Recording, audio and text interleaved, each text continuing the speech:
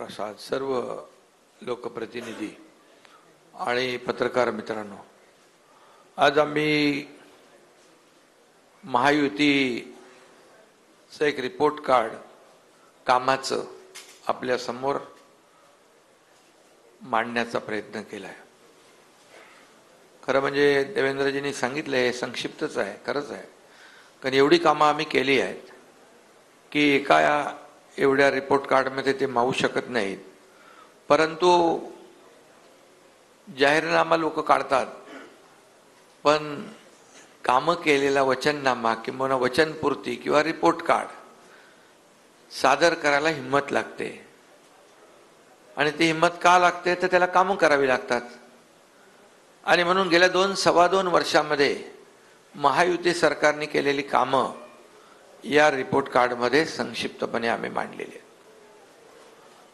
पुढे विस्तृतपणे आम्ही जी प्रत्येक विभाग निहाय सेक्टर निहाय सर्व प्रत्येक घटकाला दिलेला न्याय त्या संदर्भात आपल्याकडे येऊच. परंतु महायुतीने गेल्या दोन सव्वा दोन वर्षामध्ये केलेलं काम जे आहे हे काम वाखाणण्यासारखा आहे. आणि त्याची पोचपावती सर्वसामान्य माणूस देखील देतोय आज. आपण हे सगळे त्याला साक्षीदार आहात. की एवढे निर्णय आता आज आपण पाहिलं तर इन्फ्रास्ट्रक्चरमध्ये माझ्या अगोदर दोन्ही उपमुख्यमंत्र्यांनी त्याला स्पर्श केलेला आहे. आज पायाभूत सुविधांमध्ये राज्य देशामध्ये नंबर एकला आहे. आज अटल सेतूच आपण पाहिला तुम्ही प्रवास केला असेल. एक दीड तासाचं अंतर केवळ पंधरा वीस मिनिटावर आलं. आज कोस्टल हायवे मुंबईचा पाहिला त्याच्यावर आपण प्रवास केलाय. आज मेट्रोमधून आपण प्रवास करताय. समृद्धी हायवेवरून आपण प्रवास करतोय. मुंबई पुणे आता तो तर झालाय त्याला आणखी आम्ही लवकर जलद गतीने कसं पोचता येईल त्यासाठी काम करतोय केलंय.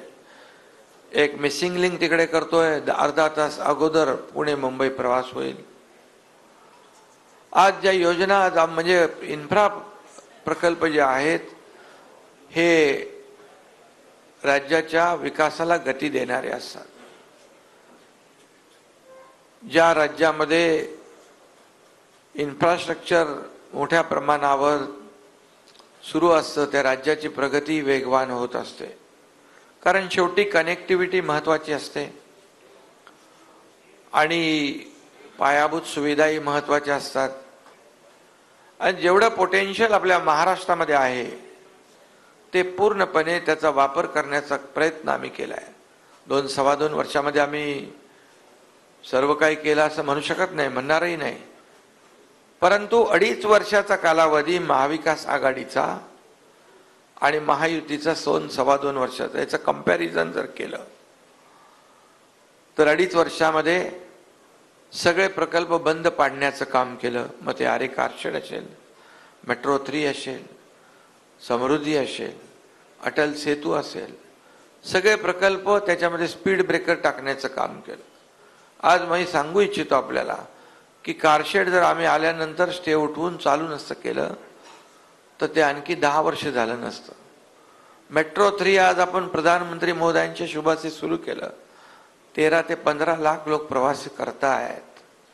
ते मला सांगितलं होतं तुम्ही त्याला स्टे द्या त्याची चौकशी लावा.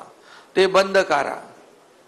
आणि या कारशेड आणि मेट्रो सतरा हजार कोटी रुपये त्याच्यामुळे त्यांच्या बालहट्ट असेल किंवा अहंकार असेल यामुळे वाढ वाढले.